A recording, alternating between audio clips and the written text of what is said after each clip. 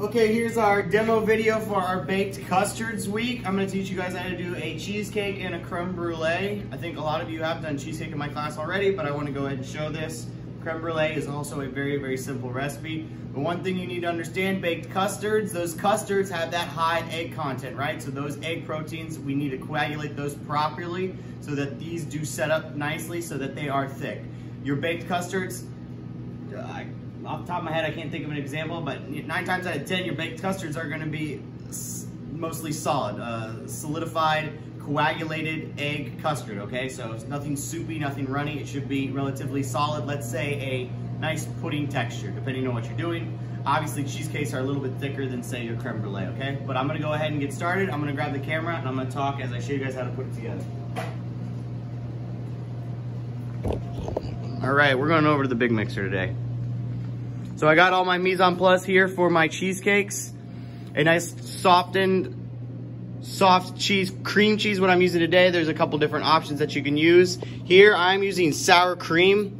In your book, the cream cheesecake recipe says heavy whipping cream at the bottom, but I actually substitute it for a sour cream, and I made this one actually with just cream and lemon juice, allowed it to thicken, sit at room temperature, and actually looks like a pretty good product.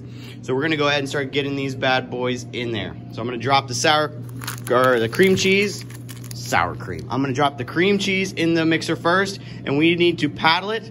Make sure that we paddle it until it is smooth ready to go. We want to make sure the name of the game with cheesecake is no lumps. We do not want any lumps of the cheese, of the sour cream, of sugar. We don't want lumps of anything. So first step is we're dropping our cream cheese into the mixer with the paddle attachment. Boom. And we're gonna get this bad boy running. Okay?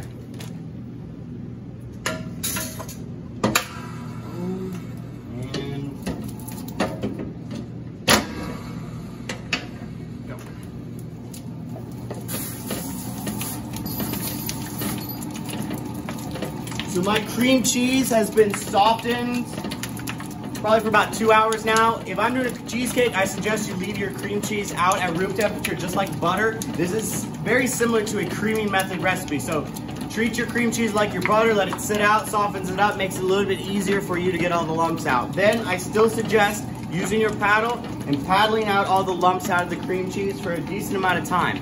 So I'm actually gonna increase the speed on this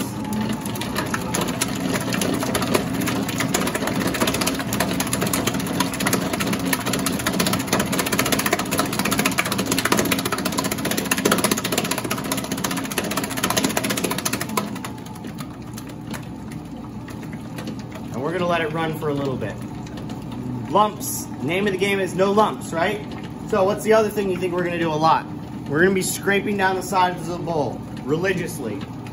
After we paddle this, I'm going to scrape it down, scrape the bottom and the sides. I'm gonna paddle a little bit more, then I'm gonna scrape it again, and then I'm gonna start and continue on with the rest of my recipe, okay?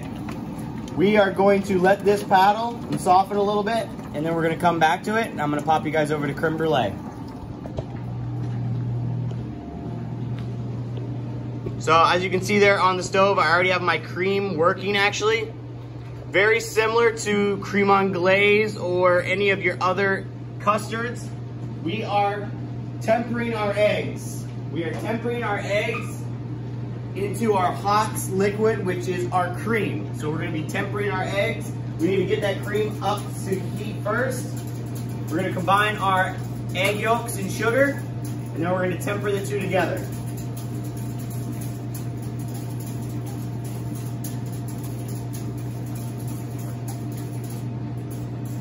That's going back there. I'm gonna go ahead and combine. This is my sugar, a little bit of salt, and egg yolks. A lot of times I actually won't do the salt in this recipe, but just for fun today, I went ahead and put it in there. Depending on how small of a recipe you're doing, you might not even need salt. Get that in there, and then we're gonna start mixing these together. For this recipe, I typically like to incorporate a little bit more air than say with the creme anglaise. The creme anglaise, we really just combine the sugar and the egg yolks together and then we've continued on. For this one, I'm actually gonna incorporate a little bit of air. I'm gonna try to change that color to more of a light opaque. Break up some of that sugar a little bit more. And then I'm gonna go ahead and temper my eggs, or my milk, my, my dairy product, my cream into my eggs, right? Mixing that up there. It's getting hot back here. I do suggest have your pan ready to go for your creme brulee. Now we're getting into baked custards. I don't know if you can see me. We're getting into baked custards, so we're gonna start talking about water baths and baking in water baths, okay? Now, the concept of the water bath is relatively simple. You've got either your small creme brulee pan or say your cheesecake pan in a, another pan, and that's what we are going to fill with water. We essentially are gonna submerge the product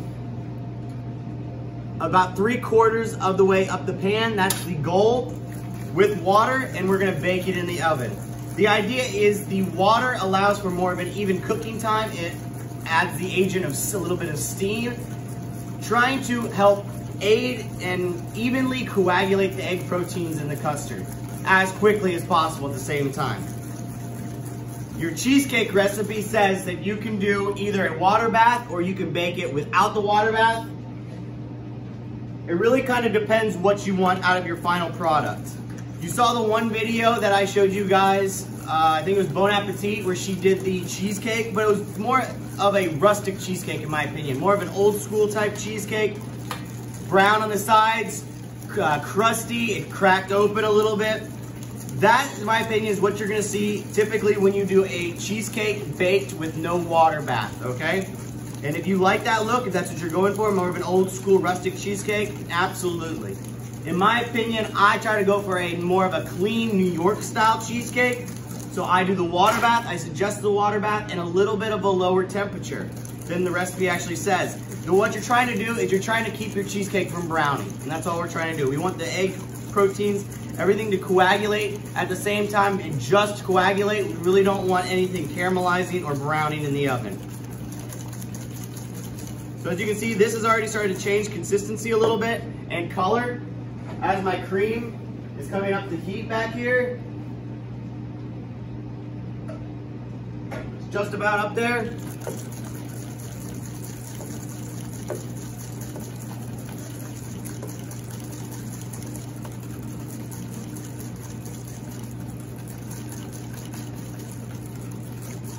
Boom, and then we can go ahead and start tempering our heavy cream, our hot heavy cream into our eggs.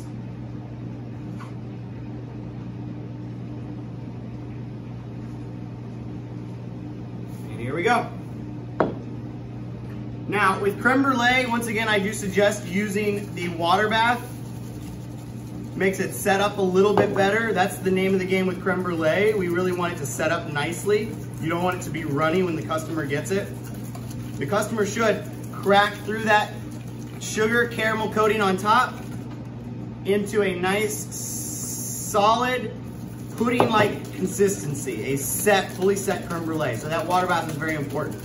The temperature, however, you might want to play with a little bit. Once again, you really don't want your creme brulee browning, burning, or overcooking so much. So getting the right temperature in your oven. A lot of ovens say 300, eh, it's not quite right. So 300 to 325 is really the temperature that you want to go at for your creme brulee, okay? Now, we've tempered our eggs and our cream together. So now all we have to do is put our creme brulee into our pan. I'm gonna try, I think I can do it with this. Yeah, buddy. We're gonna fill these up almost to the top. We're gonna stay just right underneath the top. Looking good. Good. Now, does creme brulee have to be just plain vanilla? No, you can add flavors into this creme brulee base. You could add chocolate, you could add vanilla, you could add strawberry, you could add all kinds of things. Does this have to be empty? Just with the creme brulee filling in there? Absolutely not. You could add all kinds of stuff into the bases. Put them right into the containers, into the pans, and then put your, your custard on top. This right here is just chunks of Oreo. This is one of the simplest ones that I used to make. I call it a cookies and cream creme brulee. It was such an easy concept. I already had Oreos sitting around, so I just took some leftover Oreos, threw them in these containers, and then just went ahead and poured my creme brulee base on top. And it was one of my best sellers. You can put fresh fruit in there. You can put apple pie fillings, pie fillings.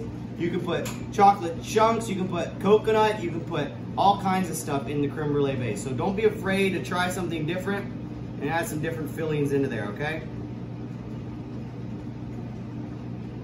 Now, I'm gonna grab the camera because I don't know if you're gonna be able to see this next part as I'm doing it. I'm gonna put this in the oven. Now, because it's a water bath, we're gonna put the pan in the oven first and then we're gonna put the water in. You try to carry these pans full of water over to the oven, you'd be shaking, you're splashing all over yourself. It's just easier to do it once it's in the oven, okay? So, you can see my oven right there. I'm gonna go ahead and put my creme brulee pan in the oven first. And then I'm gonna go ahead and pour my water in.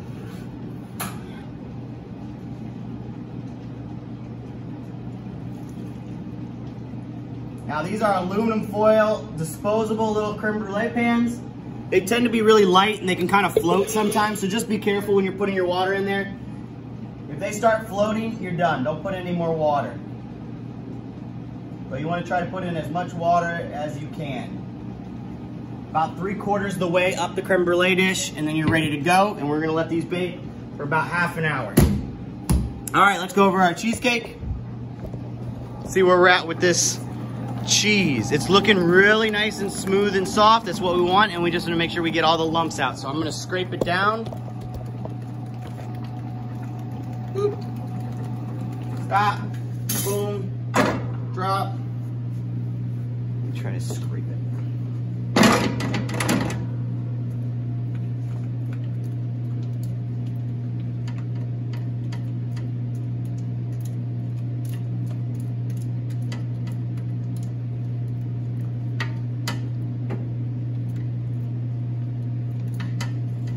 Scrape the bottom. In a cheesecake, that's where all the chunks like to sit. It's right on the bottom there. It's looking pretty good. Scrape down your paddle too. Any chunks sit at the top of that paddle.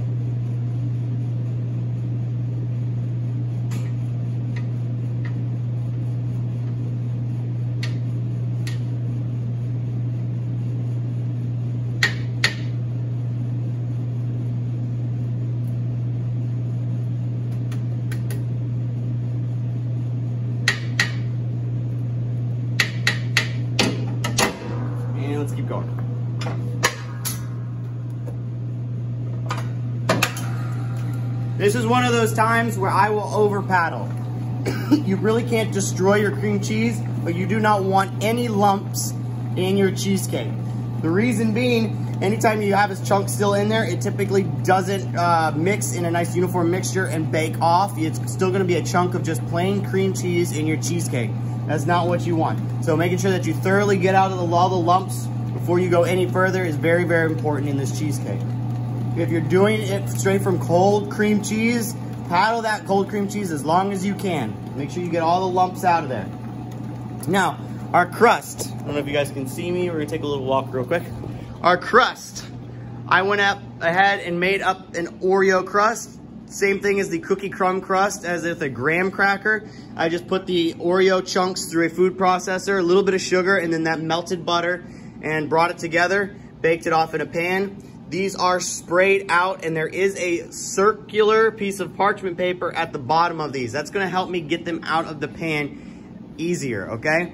As you notice, I'm not really a uh, springform pan person. I hate the springform pans. In my experience, even if you plastic wrap and aluminum foil the outside of the springform pan, the water, this is gonna be filled with water, right? It's a water bath. That water seeps through my cheesecake through the pan and sogs the bottom of the crust, deteriorating the product. It really makes it a, a terrible cheesecake at that point, just because of the pan. Um, I do suggest though, if you are using a springform pan, you plastic wrap the entire pan and aluminum foil the entire pan on the outside, not covering it, but on the outside, on the, on the bottom of the pan, around the bottom of the pan because there's two different pieces on the springform pans, right? and that water is gonna seep in and destroy your cheesecake crust, okay? Um, let me set a timer for the creme brulees.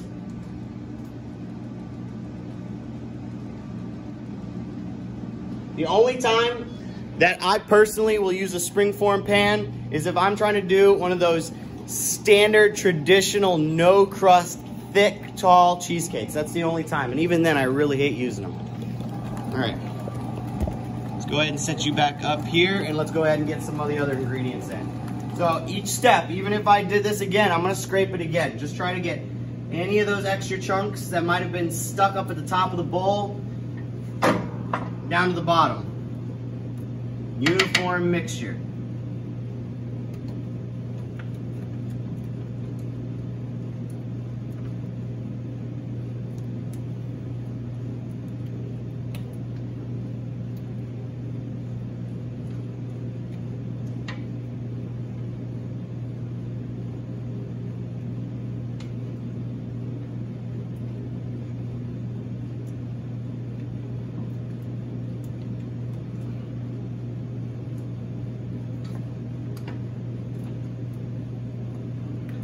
pretty good.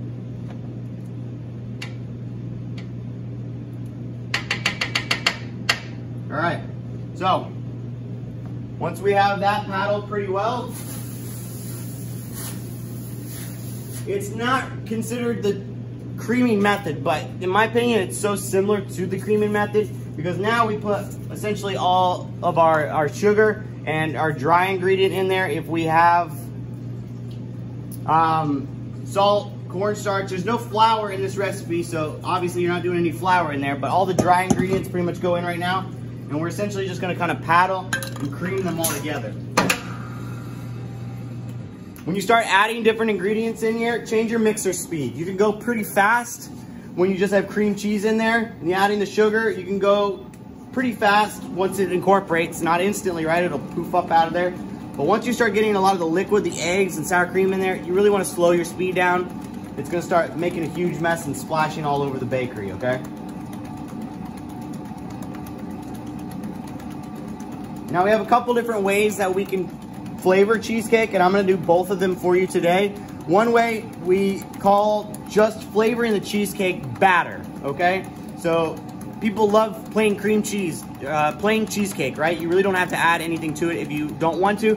But if you want to, let's say pumpkin cheesecake in the fall is really popular, you can add, for example, pumpkin flavoring to the entire batter. And now you just have a pumpkin cheesecake, changing the flavor of the batter. Or the other way that I also suggest is adding inclusion, so to speak. So if I was doing a chocolate chip, I could add chocolate chunks into there rather than mixing and melting the chocolate into the batter. Or again, if I'm doing pumpkin, I could possibly swirl it into the batter, a pumpkin puree that's sweetened and flavored. And then I have something more of, let's say, a pumpkin swirl cheesecake or a chocolate raspberry swirl cheesecake rather than a specifically flavored cheesecake, okay? And I'm gonna show you how to do both of those today. Um, I had my sugar in there already. Once again, in between steps, we're gonna scrape down the side of the bowl.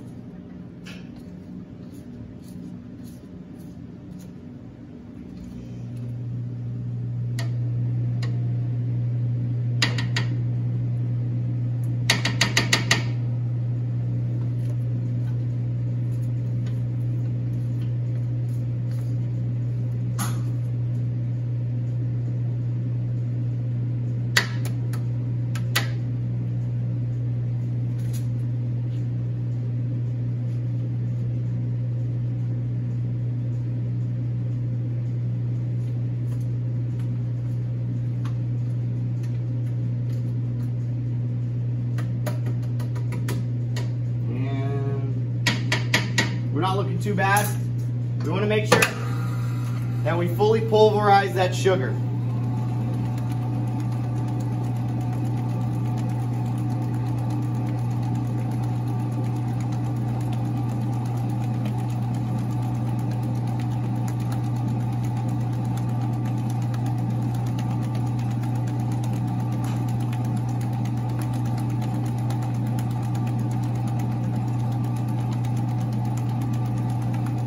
Guys see a little bit more in there. I don't know if you guys can see what's going on a whole lot, but still just cream cheese, sugar.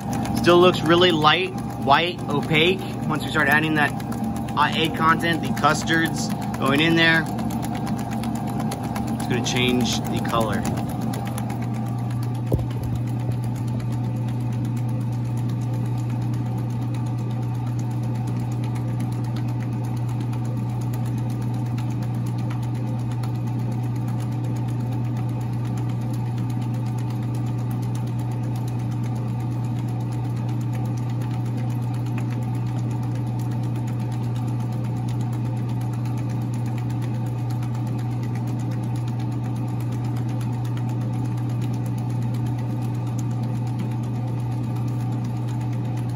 Speed it up just a little bit.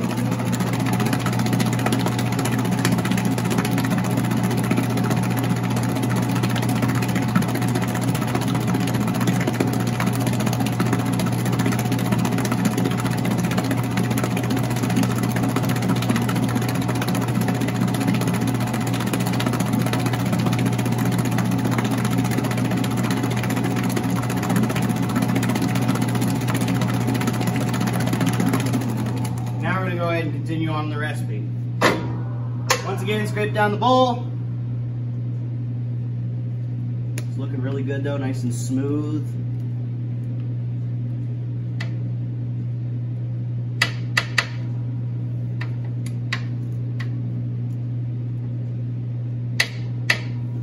You're gonna have just a bunch of small little chunks on the side of the bowl, and that's really what you're trying to just knock back down to the bottom of the bowl so that it does fully incorporate.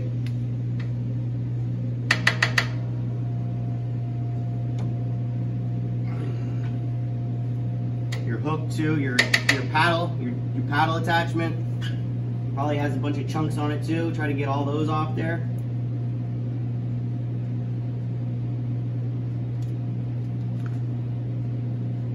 Scrape down the side of the bowl really well. Yeah, it's looking good.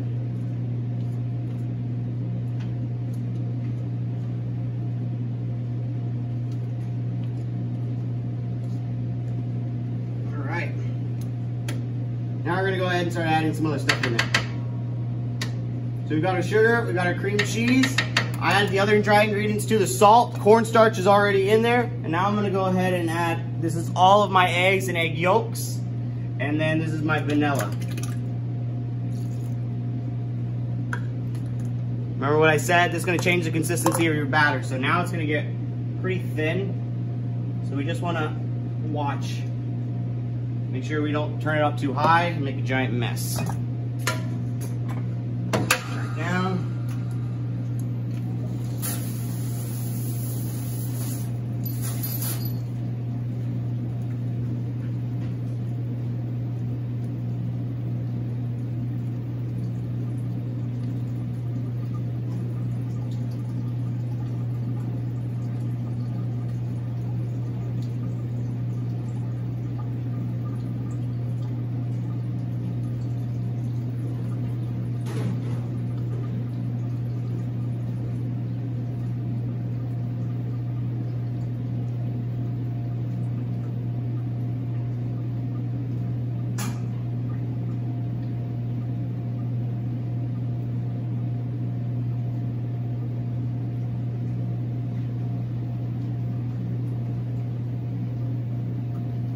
Now all those ingredients are starting to incorporate.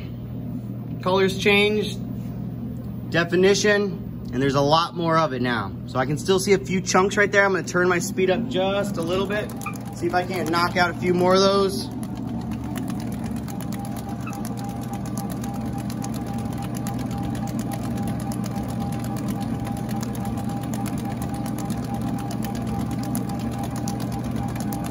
Go ahead and, ahead and add some of our sour, our, all of our sour cream in, once that's combined. We're not trying to incorporate air into the egg, so we really don't need it to go for that long of a period of time. Just till combined. For this, I'm gonna actually skip the scraping down step. I'm just gonna go ahead and drop in my sour cream.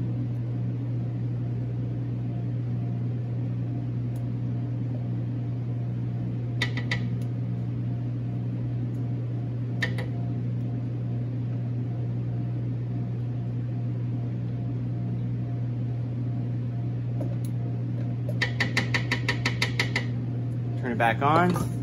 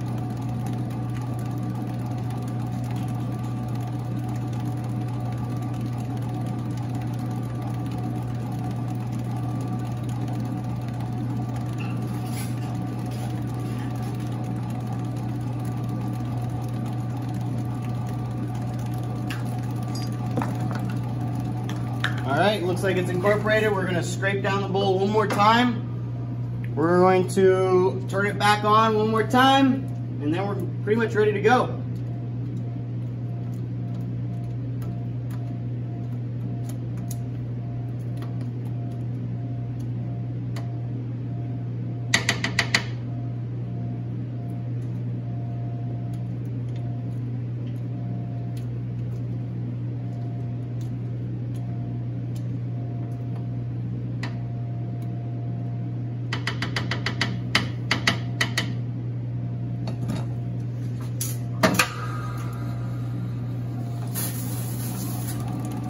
Now I'm trying to make a coffee flavored cheesecake, but I only have so much of my coffee flavored extract here.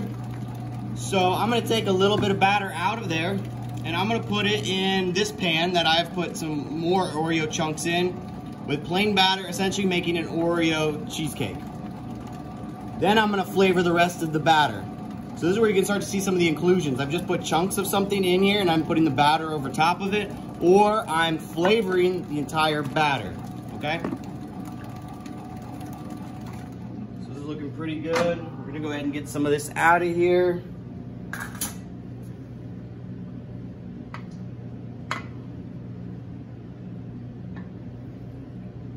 Filling the cheesecake is really up to you. How tall do you like your cheesecake? Don't go too high. The cheesecake does rise a little bit out of the pan. So if you do want a taller cheesecake, I suggest getting a taller pan. But about three quarters of the way up the pan is usually pretty good.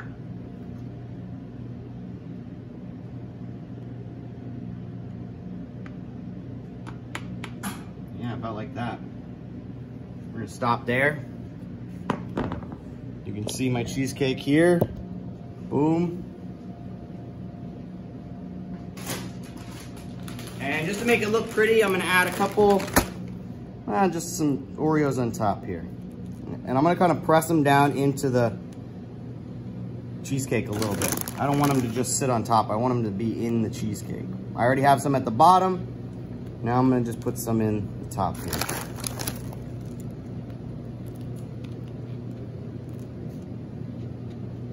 It's looking pretty good. All right, let's get back to this cheesecake. I want to attempt to flavor this coffee. Like I said, I'm not sure if I have enough coffee extract, but we're gonna find out. Pretty much just gonna put all this in here.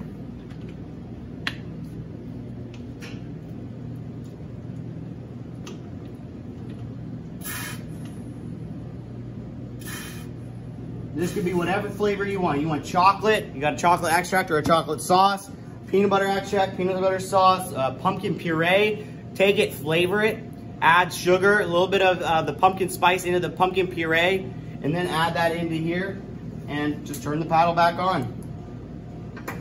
We're just gonna mix it all together. Hopefully, there's enough extract in there to make it taste like coffee.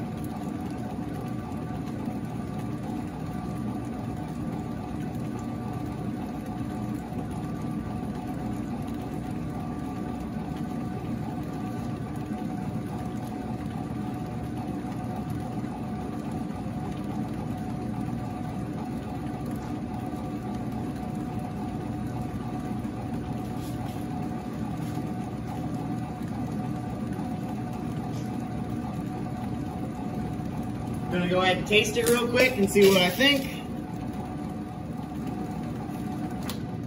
It looks really dark. It smells like coffee. Sure does taste like coffee. It could use a little bit more, but it's not too terrible.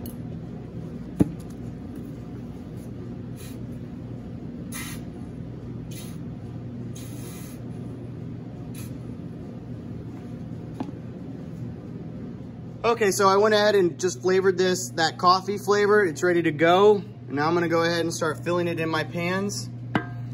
It's important to just keep an eye when you're scooping the batter into the pan. Remember, we tried our best to keep those chunkies off the side, but you can see here, even the consistency of the cheesecake and the cream cheese batter right here is a little bit thicker than what you have at the bottom. So you really just wanna be careful to not scrape.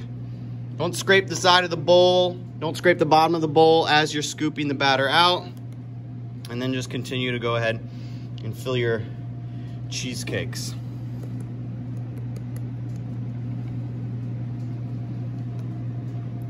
I personally don't like eating cheesecake or creme brulee the day it's made. I personally like to put it in the refrigerator. Sorry, put it in the freezer after it's fully cooked and cooled and allow it to freeze and set up completely in the freezer. Once it does set up in the freezer, it's usually easier to get out and slice cleanly so that you do have a really nice product, okay?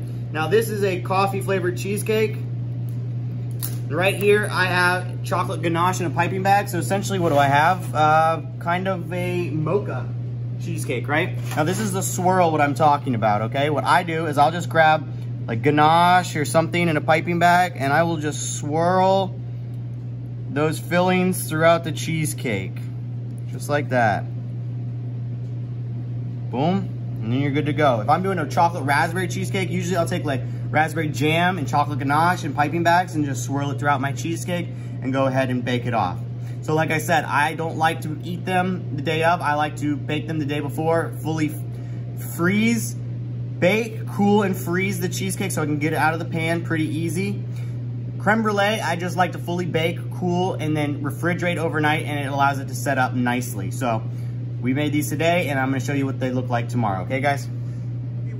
Typically, this is what I like to see when my creme brulee comes out of the oven light browning on top, but not too much. The bubbles, the coagulation, it changes in consistency, and then you can check it just a little bit. Check to see that it sets up. See how it's getting more solid? It's still a little flimsy, it's still a little wet, but as it sits in the refrigerator overnight, it will set up the rest of the way.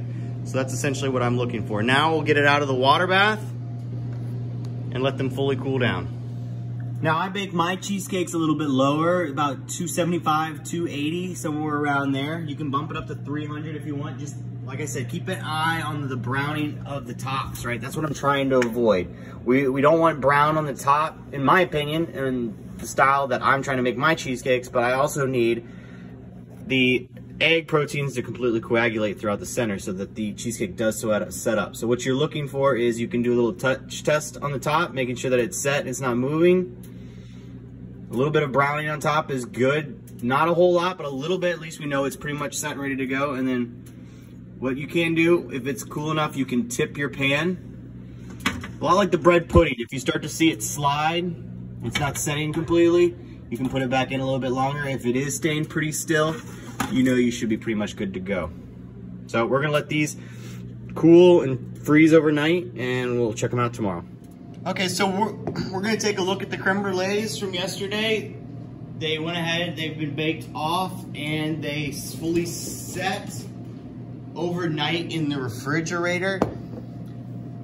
You can fully chill them probably about two hours, three hours. You might be able to use them, but my suggestion still is try to do them overnight. If you can, do the cook them the day before, hot water bath in the oven, and then let them chill and sit overnight, okay? Um, I have one right here that I want to show you the consistency so you understand what you're supposed to be looking for. If it's too runny or too liquidy, then you know you did something wrong. You should see a nice, solid, yet creamy, decadent can you see that? Filling. That's what it should look like. It should be a pudding consistency, nice and creamy and smooth. Mmm. Extremely refreshing, delicious flavor. But we know that's not the end, right? Creme brulee has a very specific topping, right? Creme brulee in French means burnt cream. So, why does it have that in the name? Because we burn sugar on top, or technically caramelize. We do not want to burn the sugar. We want to just torch it enough so that the sugar caramelizes and comes together into a solid caramel disc on top of the creme brulee. So, we're gonna take turbinado sugar, turbinado sugar, and we're going to put an even coating on top. And don't be afraid to put a bunch of sugar. A little extra won't hurt. Just make sure you have a nice even coating on top. Too thick and you might have trouble caramelizing the sugar evenly, but you usually don't have to worry about that. You can see there I got a nice even coating on top. Now we're gonna go ahead and we're gonna torch it. Now, work quickly and evenly with the torch. I will get close and work in like circular motions on the whole creme brulee and then pull away. Let it sit out, hang out, relax a little bit, and I'll come back to it. You see the golden brown of the sugar. You don't want that to turn black. We want it to stay golden brown. As it heats and melts, it comes together into one solid piece of caramel. It's still hot right now, right? So it's still melting. Let it hang out. Let it relax a little bit. You come back, hit it again, torch, a little bit, come off of it, let it sit there and melt and come together. And you come back and hit it again. I'm really caramel caramelizing the center there, but maybe not so much on the edges, so I'm gonna try to hit just the edges. Grab the container and move it a little bit, work with it.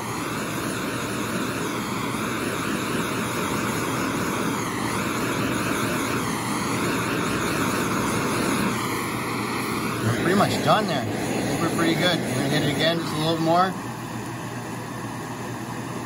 I think we're ready to go. And now you can see that beautiful layer of caramel on top.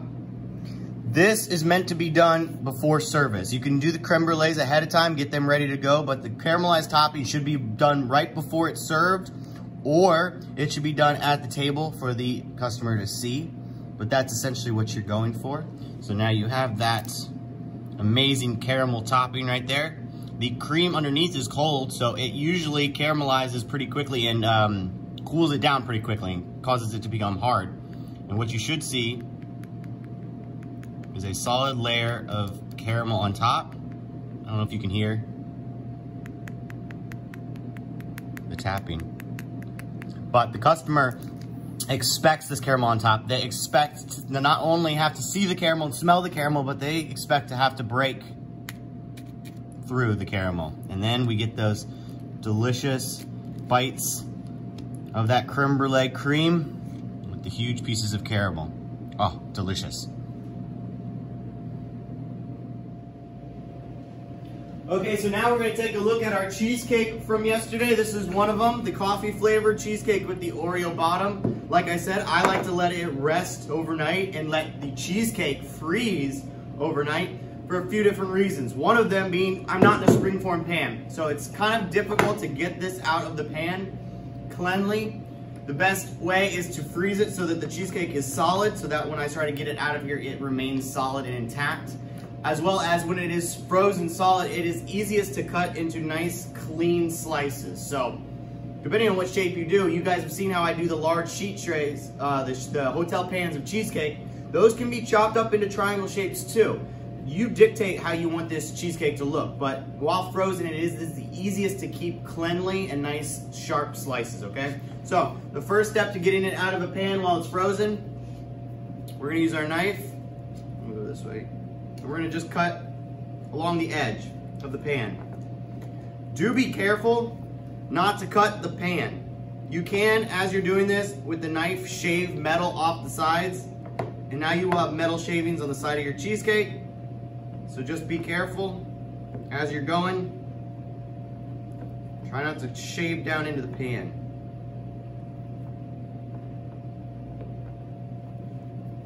All the way around. You have that piece of parchment paper on the bottom, so that should help it from sticking. Once we get that cut on the edges, we're just going to torch the top of the pan, or the bottom of the pan now, yeah, sorry. Bottom of the pan, nice and frozen, torch it a little bit. And then you should be able to pop it right out.